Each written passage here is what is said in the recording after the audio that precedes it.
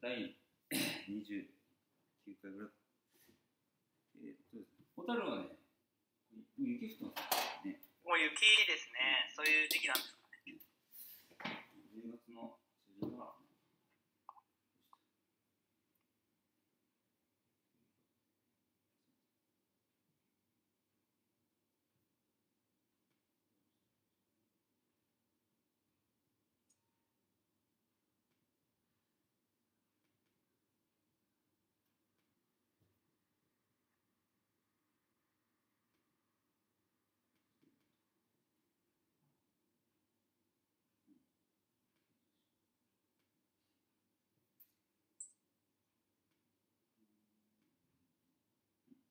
そんなはい。お願いしまこれあす。の今週、えーっとですね、今週マイクロと CT ゼミナーみたいなのね、あるので、うち今考えてるのはね、こっちが2つテレビ画面にね、まあ、加藤さんが見えないけど、2つあるから、こっち側でね、臨床結果を出して、で向こう側を、あのー、なんだっけ、ガイドの画面出す、ガイドのえランニングをね、2つ使ってさ、ダブル。ー、すごいです。で、上学のね、これは単独決算ね、っていう感じで、まあ、この、この歯この歯が足に立って、まあ、こっちうん、457は使えると。80代の女性なので、まあ、一応、ね、どうにか残せるのは残すと。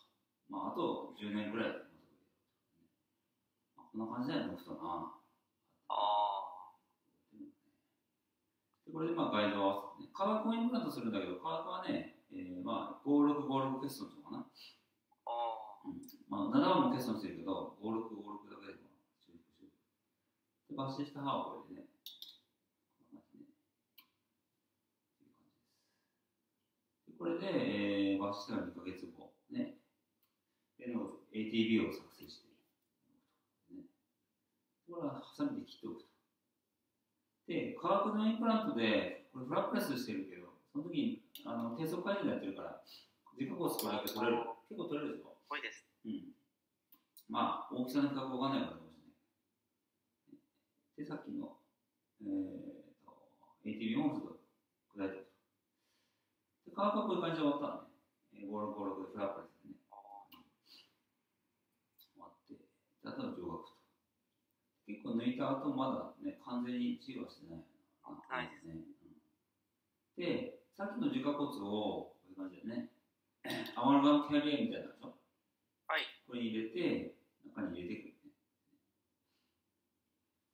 でインプラントが形成した後で、まあ、いわゆるあの、ソケットリフトってね、はい正式名称は上顎動定期手術のトランスクレステルアプローチというんですけど、それをやって、インプラントを入れていく。これが保護したとでしょ。で実際やってるところを、ね、動画で見せるとかな感じですね。あ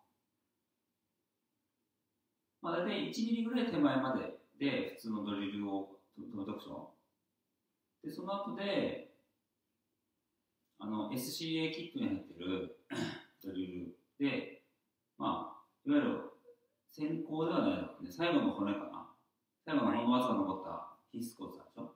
あれをちょっとドリングして、かつ上顎土底の粘膜を持ち上げながら骨を転移していくですね。で、これがその SCA のドリル、これ。こういうのがあって、まあ、これも、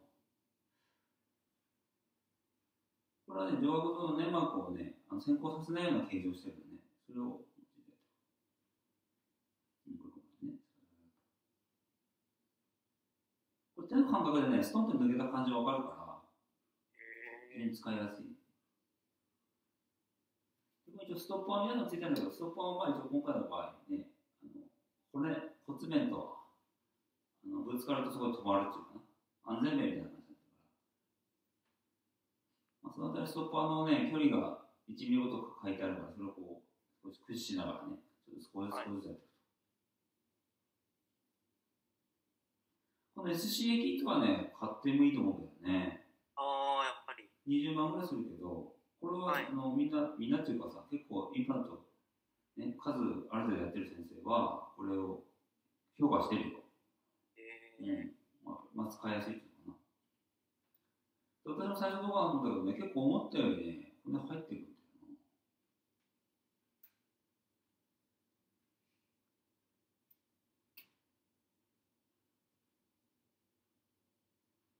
最初このストップは頼りにやるけど、少し慣れてきたらね、この感覚で判断してもいいかもしれない。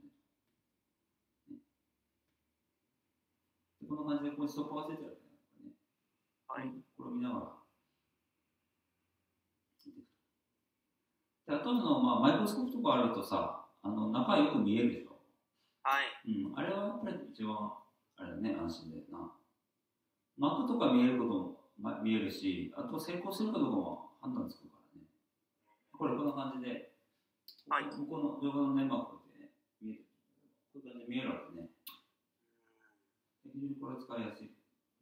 こんな感じ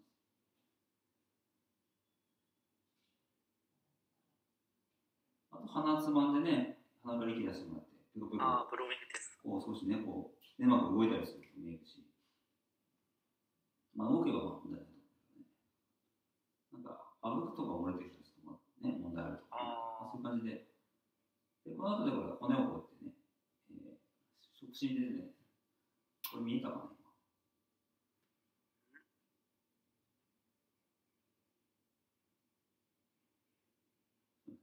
この手がこの手がヒューってこの形がさ、こういうふうになってるんだよね。ああ、T の字で。うん。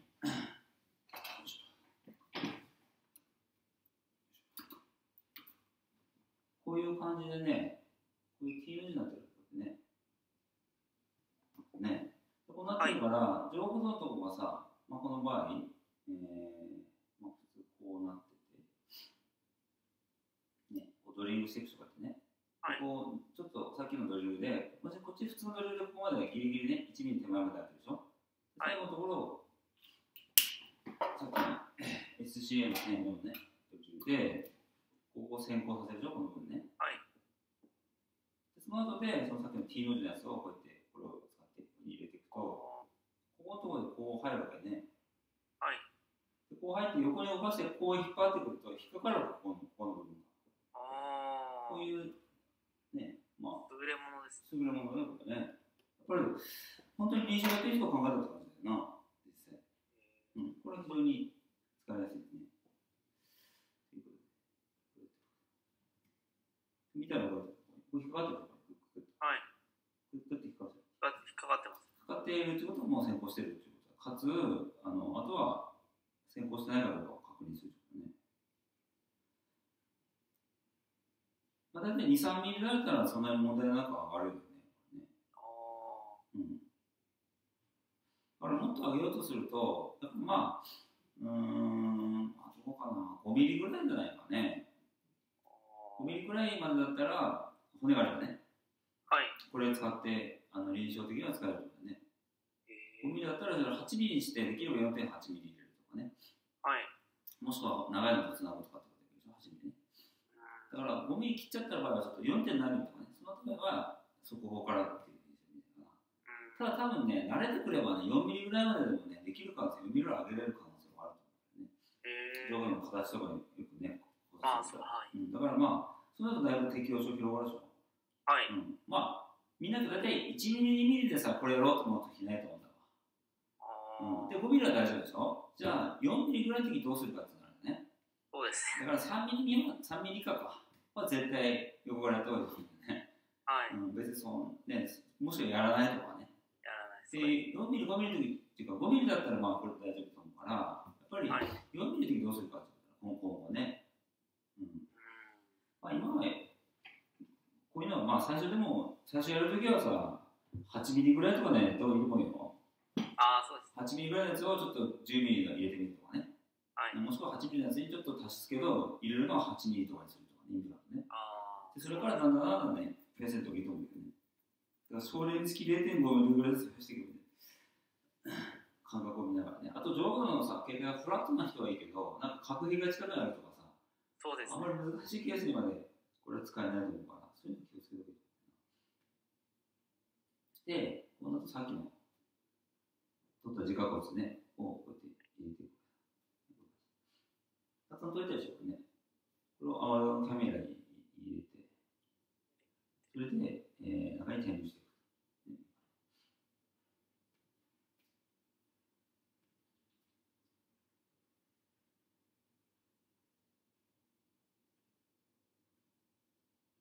これでね、3回、三回入れたら、あの、もう一回スプレッダーがあるから、それで上に持ち上げていく。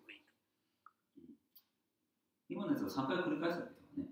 これは時間こそじゃなくて、あの、まあ、通、皆さん使ってるね、あの骨補填剤でも構わないと思もしくは混ぜてもいいと思うすね。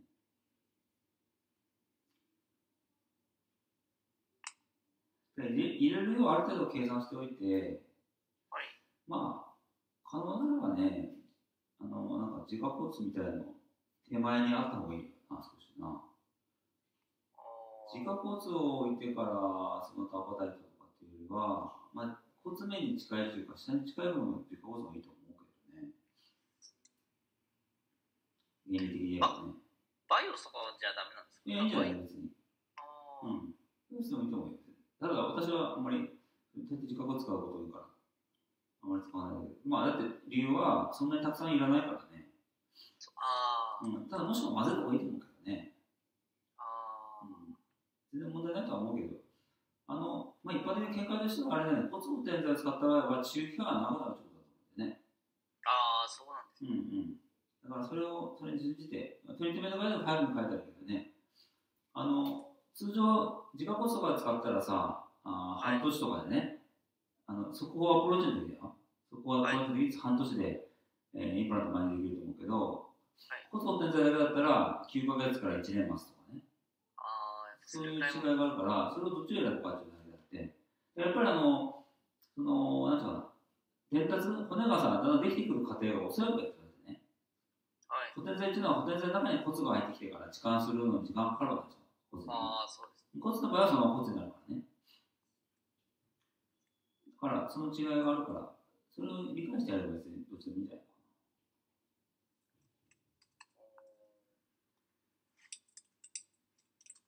な。橋渡しみたいなのがね、あの、稲葉の白ウサギってあったじゃない知らないあ、知ってます。はい。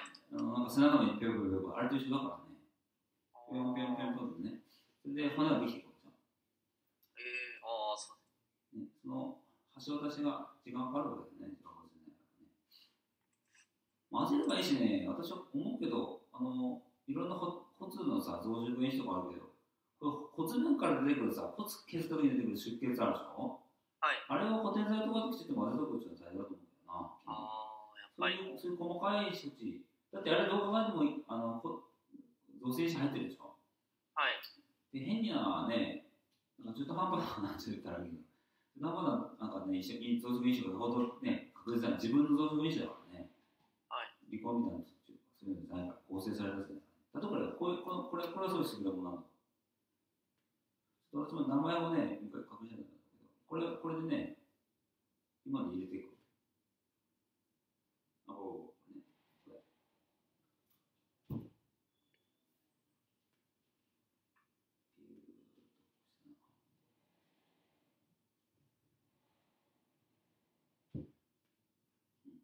これるでしこれ少しね、ちょっと押し上げたけどね、あんまり強く力をかけないで、軽くトントンってね、抵抗があるところまで押してあげて、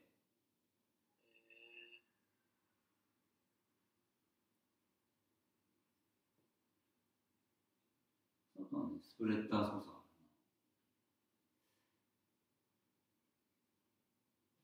あ、ここれですか？ぐるぐる。れ、今ぐるぐるなってますね。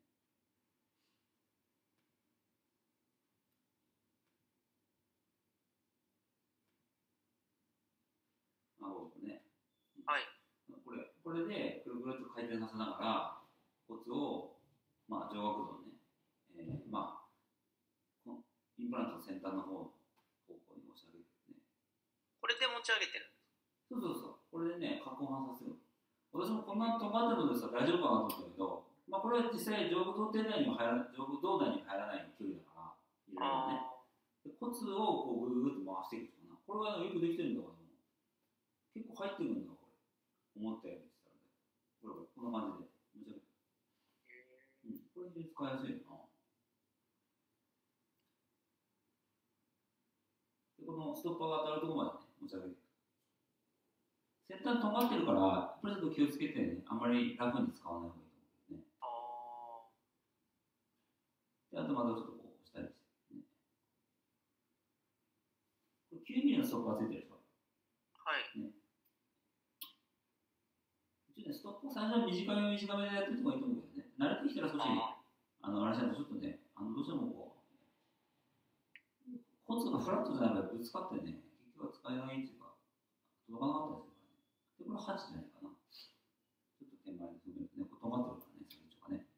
どんなやつは少し長長めにしてもいいと思うけど、あの、鋭利なのはやっぱり少し手前手前で安全にいった方がいいんじゃないかな。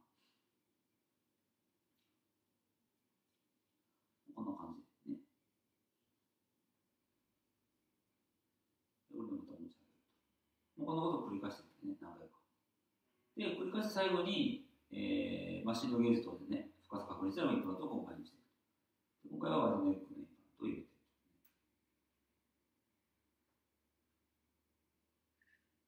振動ゲージで、例えば10ミリ入れる予定が、やっぱりなかなか9ミリまでしか入んないなって時はどうしたらいいんですか？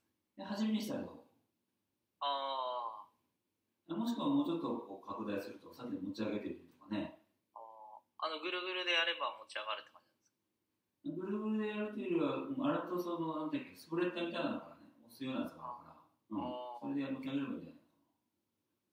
まあ、最悪っていうかさ、給料本当に高いなと思ったら、低速回転で、普通のストローマンのドリルでね、はい。実際に振動になるまでやってみるとかね。あで、また骨ついてくるから、最初の元に入れられる骨をね。で、あの、入れて、骨が邪魔になって入らないってことないと思うわ。あとあれ別に普通のただ削れた骨だから、あブロックのね、硬い骨とかじゃないから、それが邪魔するよね。入らないのはやっぱりあのインプラントとかの形成が足りないからね。あー、そううん、だから、それは大丈夫だから。で、実際入れながらね、インプラントで最後持ち上げるってこともね、少し1ミリぐらいだったらできると思うから、うん、だからまあ、そんなに心配しなくてもいいんじゃないかな。で、これで、あとは、さっきのあれかな、その、上で、あ、この、あれ思い出した。上でパンチアウトしたシニックをここに戻したこの時間に言うと、あーまあ入れる、入れて置いてるってだけだね。出てくるな。ね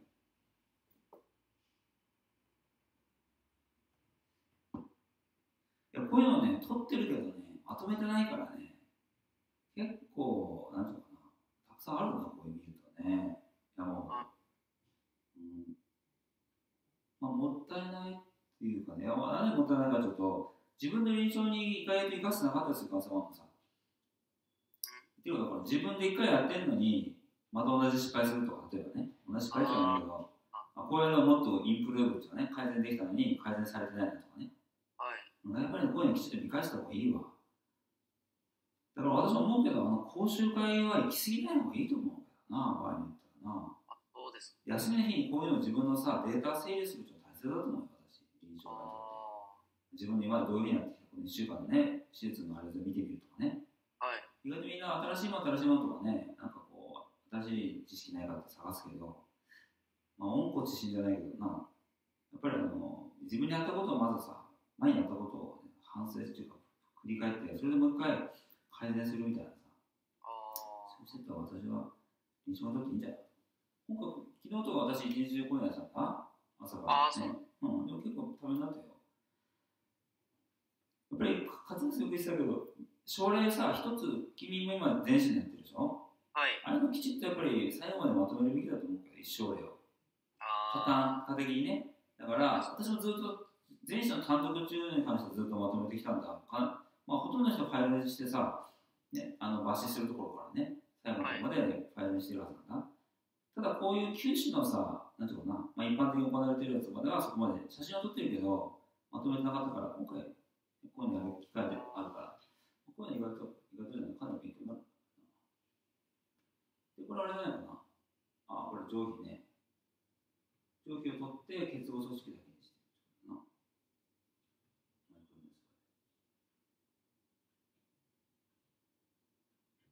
こういうのマイクロだったらやりやすいよな。上皮だけ取れるかあ。これは肉眼ではなかなか難しい。らな。ね。できなくはないと思うけど。で、これで結合組織のところを、あの上の多分ね、教則のところちょっとさ、少ないところがあったらそこに入れてあげるじゃんね。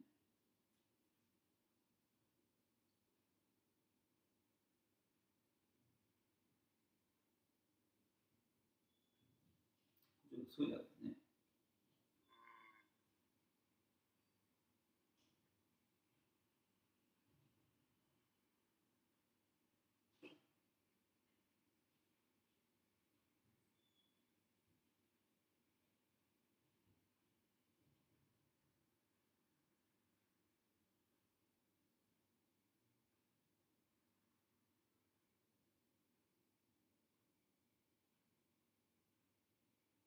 こんな。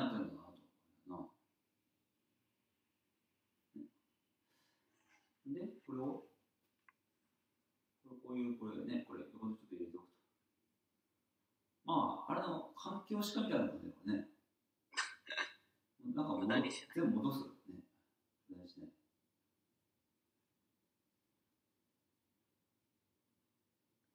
なんか周りにこうね、ボリュームを足しておくと。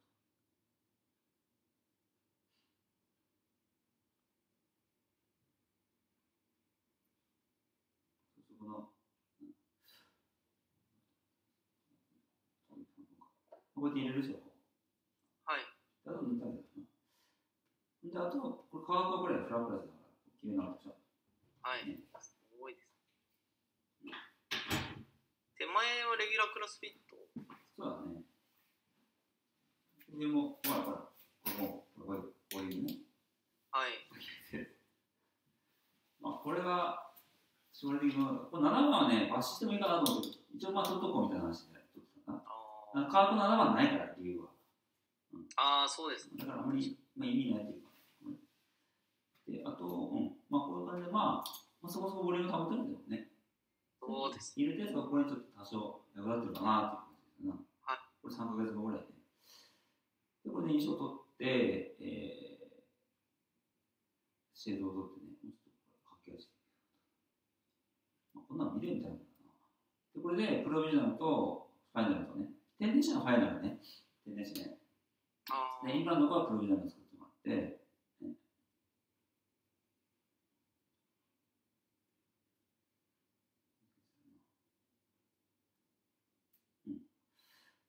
イン、プラントは最初ホテルじゃダメだった。いや、基本的にはあの1回プロビジョナル入れるのをルーティンでやってるからね。あまずはあのあれ歯肉の状態がさ、まあ、まあ、ほぼ問題なければファイナルでもいいけど、まあ、あれじゃないかな、普通通常1回目の印象を取るときにその完璧っていうことはまあないから、実際これ、プロビジョナルきちんと入った後でもこの感じでしょ、まだ。あ、はい。うん、だからまあなかなか難しいよな。そのだってプロビジョナルってスクリューことなのにまあこのぐらいだから。まあ、今全、全支部うん。やってるんですけど、やっぱ歯肉がなんかあの、ああいうトリートメントガイドみたいにあんなに、あれ、成熟しないんですけど。研磨とかの問題はどうなんだろうね。あ研磨とかがかなりしっかりしてれば、スクリュー固定ならかなりいいところに行くと思うんだよね。ただね、個人差なのは間違いないし、プラグコントロールとかもね、やっぱりあれじゃないかな。考えた方がいいかもしれないな。その人のプラグコントロールね。あ、はい。で、最後こんな感じかな。やっぱりチームの状態ちょちょっとまだ赤みがあるけど、まあ大丈夫かな。でこれで最後完成するね。